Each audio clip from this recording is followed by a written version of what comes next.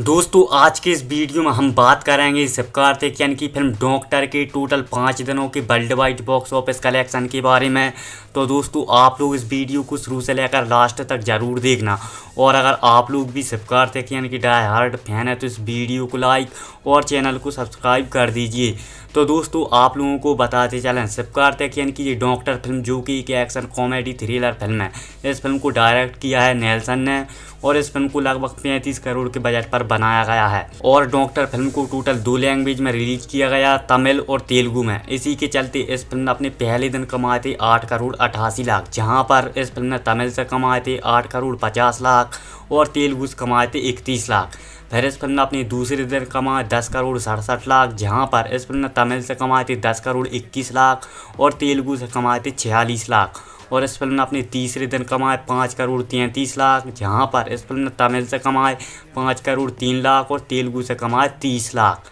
और इस फ़िल्म ने अपने चौथे दिन कमाए चार करोड़ साठ लाख, जहाँ पर इस फ़िल्म ने तमिल से कमाए चार करोड़ तैंतीस लाख और तेलुगु से कमाए सत्ताईस लाख। और आज है इस फ़िल्म का पाँचवा दिन, जहाँ पर पाँचवें दिन इस फ़िल्म को बुधवार पड़ रहा है। सो इसी के चलते ये फ़िल्म अपने पाँचवें दिन चार करोड़ तीस लाख की कमाई कर रही है, जहाँ पर ये फ़िल्म तमिल से चार करोड़ पाँच लाख की कमाई कर रही, वहीं पर तेलुगु से ये फ़िल्म पच्चीस लाख की कमाई कर रही है अपने पाँचवें दिन। सो इसी के चलते शिव कार्तिक की फ़िल्म डॉक्टर का टोटल इंडिया नेट कलेक्शन हो जाता है, तैंतीस करोड़ इकहत्तर लाख। जी हाँ दोस्तों, और इस फ़िल्म का तमिल नेट कलेक्शन हो जाता है बत्तीस करोड़ ग्यारह लाख, और तेलुगु नेट कलेक्शन हो जाता है एक करोड़ साठ लाख, जो कि काफ़ी अच्छा कलेक्शन कर लिया है इस फ़िल्म ने अपनी शुरुआती पाँच दिनों में।